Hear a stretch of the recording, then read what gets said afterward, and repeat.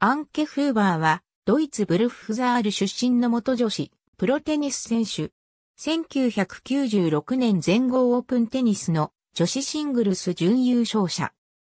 長い間世界ランキング1位の座に君臨したシュテフィグラフと共にドイツテニス界を支えてきた選手である。シングルス自己最高ランキングは4位。右利き、バックハンドストロークは両手打ち。WTA ツアーでシングルス12勝、ダブルス1勝を挙げた。グランドストロークの強打を最大の武器にした。1989年1月に14歳でプロ入り。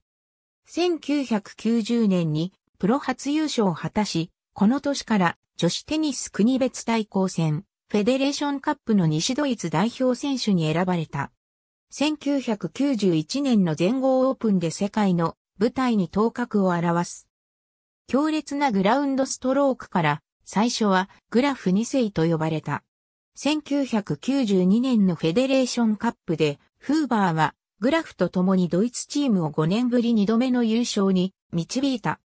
1993年に全仏オープンで初の準決勝に進出するが、グラフに1から6、1から6で完敗した。1995年11月の女子テニスツアー年間最終戦チェイス選手権で準優勝。その時の準々決勝で日本の伊達公子に逆転勝ちしたフーバーは女子テニストーナメント唯一の5セットマッチで戦われる決勝戦で5歳年上の先輩グラフとフルセットを戦った。フーバーはグラフには通算10戦全敗で一度も勝利を挙げることはできなかった。1996年の全豪オープンで初の4大大会決勝進出を果たしたが、1993年の死傷事件から復帰してきた第1シードのモニカ・セレシュに4から6、1から6のストレートで敗れ、フーバーは準優勝に終わった。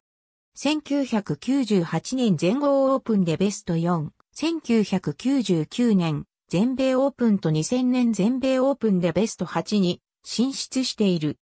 フーバーはオリンピックのドイツ代表選手としても1992年バルセロナ五輪と1996年アトランタ五輪の2度出場記録がある。フェードカップのドイツ代表選手としても、1990年から現役引退する2001年まで、その位置にとどまった。彼女はシングルス通算勝利数でドイツチームの歴代1位記録保持者である。1999年8月に先輩のグラフが現役を引退してからは、フーバーが古墳奮闘状態でドイツテニス界を支えた。2001年11月、地元ドイツミュンヘンのオリンピアホールで開かれた WTA ツアー選手権を最後に現役を引退する。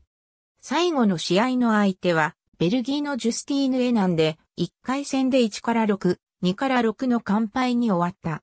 地元での最後の試合であったが、会場のオリンピアホールに集まった観客は半分ほどであり、ドイツにおけるテニス人気の衰退を印象づけた場面だった。フーバーの引退後ドイツの女子テニス界は長く低迷したが、2010年代からアンドレア・ペトコビッチ、ザビーネリ式、アンゲリク・ケルバーなどが活躍している。フーバーは2005年4月に長男、2006年10月に長女を出産している。W イコール優勝、F イコール準優勝、SF イコールベスト4、QF イコールベスト8、R イコール回戦敗退、RR イコールラウン敗退、Q イコール予選回戦敗退、LQ イコール予選敗退、A イコール大会不参加、P イコール開催延期 WG イコールデビス、Z イコールデビス地域ゾーン、PO イコールデビス、G イコールオリンピック金メダル、S イコールオリンピック銀メダル、SF、B イコールオリンピック銅メダル、NMS イコールマスターズシリーズから降格、NH イコール開催なし。ありがとうございます。